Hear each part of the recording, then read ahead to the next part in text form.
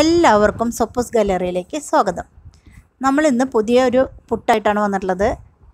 അത് ചക്കപ്പുട്ടാണ്. അപ്പോൾ നിങ്ങൾ വിചാരിക്കേണ്ടാവും എന്നും പുട്ടാണോ എന്ന് അല്ല നമുക്കിപ്പോൾ ലോക്ക്ഡൗൺ സമയമാണ് ചക്കയും മാങ്ങി ഇഷ്ടം പോലെ ഉണ്ട് നമ്മുടെ വീടുകളിൽ അപ്പോൾ നമുക്ക് അത് എങ്ങനെയൊക്കെ യൂസ് ചെയ്യാം എന്നുള്ളതാണ് നമ്മുടെ വീഡിയോസ് കേട്ടോ കുറച്ച് ദിവസം ഞാൻ അങ്ങനെ പോട്ടെ.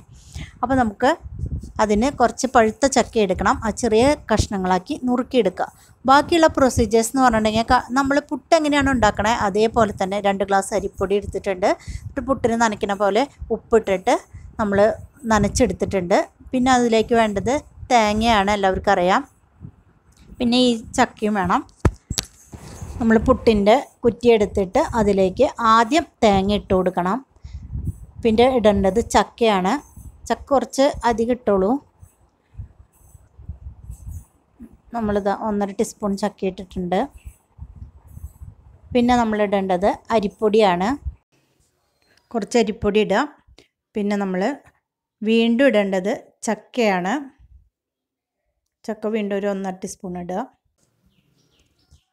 പിന്നെ നമ്മൾ അതിന്റെ മീതേക്ക് തേങ്ങ ഇട്ട് കൊടുക്കുക. അങ്ങനെ ആ കുറ്റി നിറയുന്നത് വരെ നമ്മൾ ഇതേ പ്രൊസീജിയർ ചെയ്യാം കേട്ടോ. നമുക്ക് ഇത് ആവി കയറ്റിയിട്ട് വരാം കേട്ടോ. നമ്മൾ ആവി കയറ്റി എടുത്തു.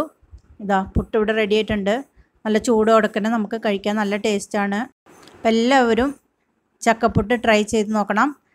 കമന്റ് ബോക്സിലൊന്ന് കമന്റ് അറിയിക്കണം കേട്ടോ. അപ്പോൾ ഇനിയും ഈ ചാനൽ ഇതുവരെ സബ്സ്ക്രൈബ് ചെയ്തിട്ടില്ലെങ്കിൽ ഒന്ന് സബ്സ്ക്രൈബ് ചെയ്യുക ലൈക്ക് ചെയ്യുക ഷെയർ ചെയ്യുക കേട്ടോ. അപ്പോൾ അടുത്ത വീഡിയോ ആയിട്ട് ഉടനെ വരുന്നതായിരിക്കും. Okay bye